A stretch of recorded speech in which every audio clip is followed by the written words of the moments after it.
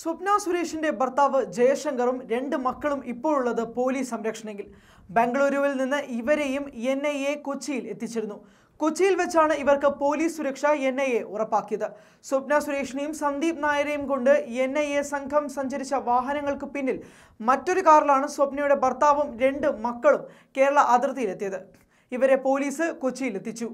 പ്രതികളുമായുള്ള വാഹനങ്ങൾ Walayar check post കടന്ന് പതിനഞ്ച് മിനിറ്റിന് ശേഷമാണ് സ്വപ്നയുടെ കുടുംബവുമായുള്ള കാർ അതിർത്തിയിലെത്തിയത്. അവിടെ അധികൃതർ തടഞ്ഞെങ്കിലും വിവരം പറഞ്ഞതോടെ കടത്തിവിട്ടു. വാളയാറിൽ നിന്ന് എൻ ഐ എ സംഘത്തിന് അകമ്പടി നൽകിയ പോലീസ് തന്നെ ഇവരെ വാഹന വ്യൂഹത്തിനൊപ്പം എത്താൻ സഹായിച്ചു. കടവന്ത്രയിലെ എൻ ഐ എ ഓഫീസിലെത്തിയ ഇവരെ സുരക്ഷിത കേന്ദ്രത്തിലേക്ക് മാറ്റി. ഇവർ എൻ ഐ എ ഓഫീസിലെത്തി സ്വപ്ന സുരേഷിനെ കണ്ടെത്തുകയും ചെയ്തു. തിരുവനന്തപുരത്ത് നിന്ന് സ്വപ്ന വിട്ടതു മുതൽ കുടുംബവും അവർക്കൊപ്പം ഉണ്ടായിരുന്നു. എന്നാൽ ഇവർക്കാർക്കും കടത്തിൽ പങ്കില്ലെന്നാണ് കസ്റ്റംസിന്റെയും എൻ ഐ എയുടെയും വിലയിരുത്തൽ. ബംഗളൂരുവിൽ നിന്ന് വന്നതുകൊണ്ട് ഇവർക്കും കൊറോണ നിരീക്ഷണം അനിവാര്യമാണ്. അതുകൊണ്ടാണ് ഇവർക്ക് പ്രത്യേക കേന്ദ്രം ഏർപ്പെടുത്തിയത്. ക്വാറന്റൈൻ കാലം കഴിഞ്ഞാൽ ഇവർക്ക് വീട്ടിലേക്ക് മടങ്ങാനാകും. മകളുടെ സോഷ്യൽ മീഡിയയിലെ ഫോൺ വിളിയാണ് സ്വപ്നയെ കുടുക്കിയതെന്ന് റിപ്പോർട്ടുകളുണ്ട്. ഈ സാഹചര്യത്തിൽ കൂടിയാണ് കുടുംബത്തിന് സുരക്ഷ കൂട്ടുന്നത്. അതിനിടെ കേസിലെ മുഖ്യപ്രതികളായ സ്വപ്ന സുരേഷിന്റെയും സന്ദീപ് നായരുടെയും കോവിഡ് പരിശോധനാ ഫലം നെഗറ്റീവാണെന്ന് തെളിഞ്ഞു. കോവിഡ് നിരീക്ഷണ കേന്ദ്രങ്ങളിൽ കഴിയുന്ന ഇവരെ കസ്റ്റഡിയിൽ വേണമെന്ന് ആവശ്യപ്പെട്ട് ഇന്ന് എൻ കോടതിയിൽ അപേക്ഷ നൽകും. അതേസമയം ഒളിവിൽ കഴിയുമ്പോഴും സന്ദീപ് നായർ വിളിച്ചിരുന്നതായി അമ്മ മാധ്യമങ്ങളോട് പറഞ്ഞു.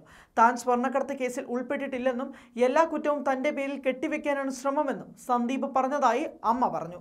ആഡംബര കാർ വാങ്ങിയതിലും വർക്ക്ഷോപ്പ് തുടങ്ങിയതിലും കടമുണ്ടെന്നും ഇക്കാര്യങ്ങൾ മാധ്യമങ്ങളിലൂടെ അറിയിക്കണമെന്ന് ആവശ്യപ്പെട്ടുവെന്നും അമ്മ പറഞ്ഞു. സ്വർണക്കടത്തുമായി ഒരു ബന്ധവുമില്ലെന്ന് ഫൈസൽ ഫരീദ് ദുബായിൽ മാധ്യമങ്ങളോട് പ്രതികരിച്ചു. കസ്റ്റംസ് തന്നെ ബന്ധപ്പെട്ടിട്ടില്ല. തന്റെ സുഹൃത്തിനോട് വിവരങ്ങൾ തിരക്കിയതായി അറിഞ്ഞുവെന്നും ഫൈസൽ പറഞ്ഞു. എന്നാൽ സുഹൃത്ത് വഴി ഫൈസലിന്റെ മൊഴി എടുത്തുവെന്നാണ് കസ്റ്റംസ് പറയുന്നത്. സ്വർണക്കടത്തുമായി ബന്ധപ്പെട്ട് വിവരങ്ങൾ അറിയാവുന്നത് സ്വപ്ന സുരേഷിനാണെന്ന് സ്വർണക്കടത്ത് കേസിലെ പ്രതികളിൽ ഒരാളായ സരിത്തിന്റെ വെളിപ്പെടുത്തൽ നിർണായകമാണ്. സ്വർണം എവിടെ നിന്നുമാണ് വരുന്നതെന്നും ആർക്കാണത് നൽകുന്നത് എന്നെല്ലാമുള്ള കാര്യങ്ങൾ അറിയാവുന്നത് സ്വപ്നയ്ക്കാണെന്നാണ് സരിത്ത് പറയുന്നത്. ചേച്ചി എന്നും മാഡം എന്നുമാണ് സരിത്ത് സ്വപ്നയെ സംബോധന ചെയ്തത്.